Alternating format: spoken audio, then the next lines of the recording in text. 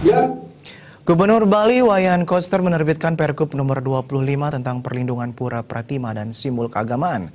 Pergub tersebut merupakan implementasi visi pembangunan daerah Nangun Sat Kerti Loka Bali melalui pola pembangunan semesta berencana menuju Bali era baru. Berikut pernyataan Gubernur Koster.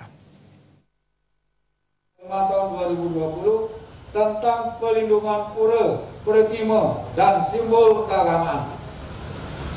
A. Dasar dan tujuan satu, dalam rangka meningkatkan selada dan bakti sesuai dengan ajaran agama Hindu, menjaga kemuliaan tempat-tempat suci agama Hindu, guna mewujudkan visi pembangunan daerah Namun Sakit di Loka Bali melalui pola pembangunan semesta berencana menuju Bali era baru perlu melakukan perlindungan pura, pratima, dan simbol keagamaan umat Hindu.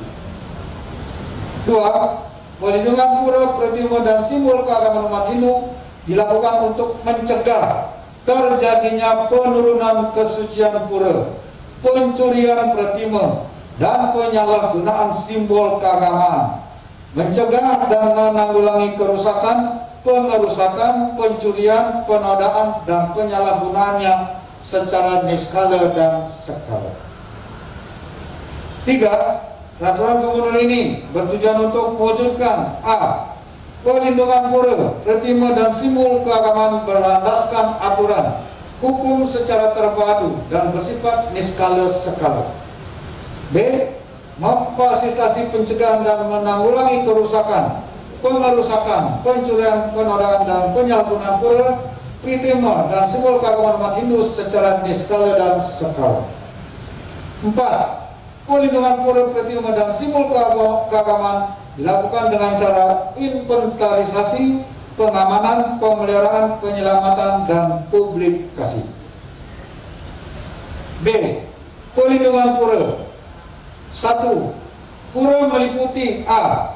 Pura Sat Kahyangan merupakan pura utama tempat pemujaan yang dewasa dalam segala manifestasinya yang terletak di sembilan penyuluh mata angin di Bali. B. Pura Dam Kahyangan merupakan pura tempat pemujaan yang dewasa dalam segala manifestasinya berkaitan dengan perjalanan orang-orang suci di Bali. C. Pura Kahyangan Jagat merupakan pura umum sebagai tempat pemujaan yang dewasa dalam segala manifestasinya. D. Pura Kahyangan Desa merupakan pura yang disungsung dan diempor oleh desa adat. E. Pura Swagina merupakan pura yang penyungsung dan pengempuannya terikat dalam ikatan suwakina pada profesi yang sama. F. Pura Kawitan merupakan pura yang pemuja terikat oleh ikatan leluhur berdasarkan garis keturunan purusa atau pewaris.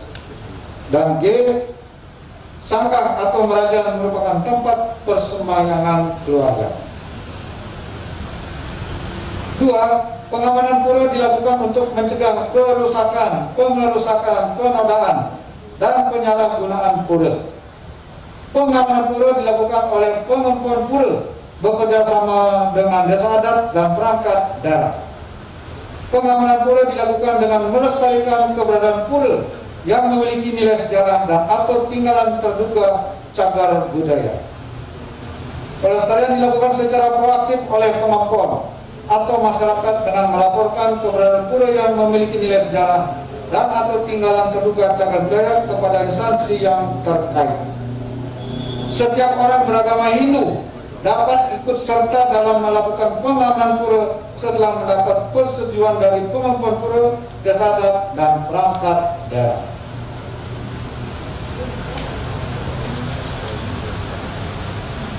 Tiga, Pemeliharaan pura dilakukan untuk mencegah cuntake atau sebel, kerusakan, alih fungsi, dan atau musnahnya pura. Pemeliharaan pura dilakukan dengan cara mencegah cuntake atau sebel, menjaga nilai kesucian pura, menggunakan terima dalam pura sesuai fungsi keagamaan, pendidikan, dan sosial budaya, menjaga keanekaragaman arsitektur pura, menjaga lingkungan pura yang bersih, sehat, hijau dan indah dan menggunakan sarana prasarana yang tidak berasal dari plastik sekali pakai. Cuntake atau sebelum dicegah dengan cara melarang setiap orang yang dalam keadaan cuntake atau sebelum memasuki pura.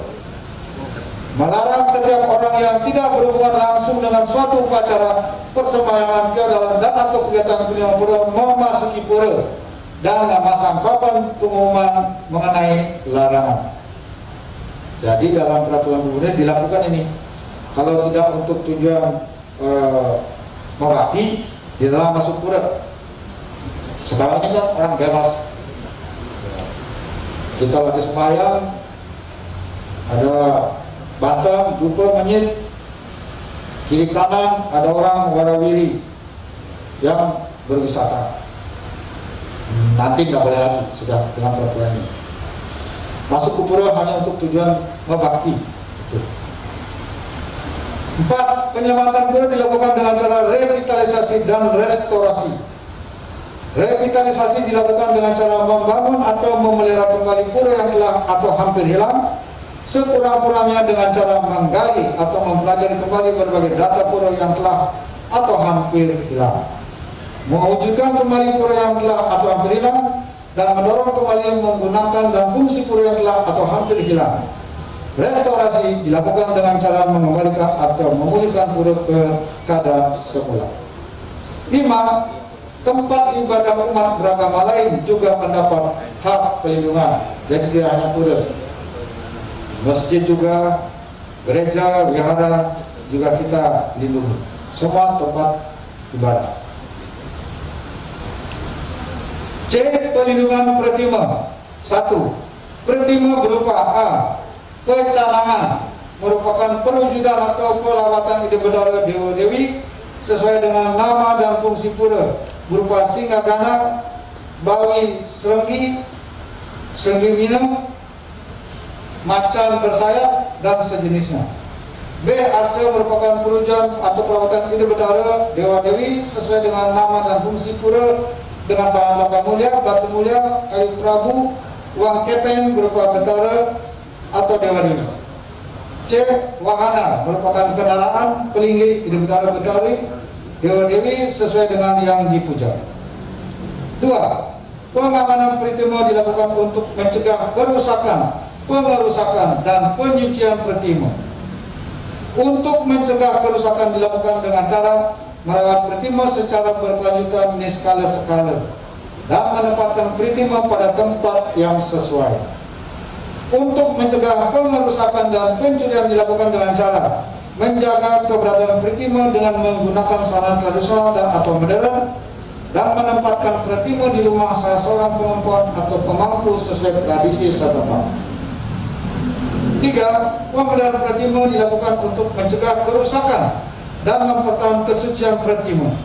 Pemeliharaan pratima dilakukan dengan cara merawat pratima sesuai bentuk dan fungsinya, memfungsikan pratima sesuai perwujudan serta situs, dan menjaga nilai kesucian pratima.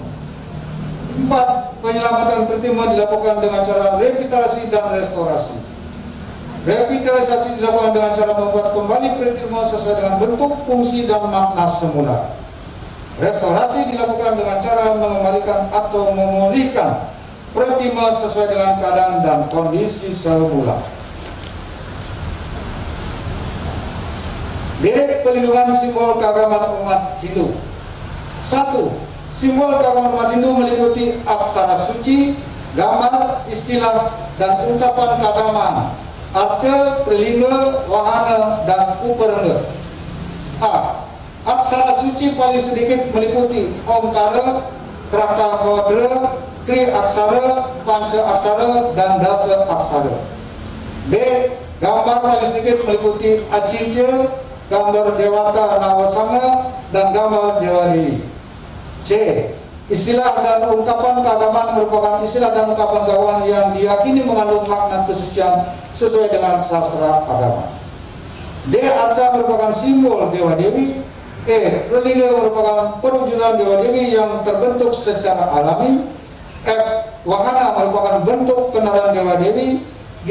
Uperengga merupakan perlengkapan upacara keagamaan.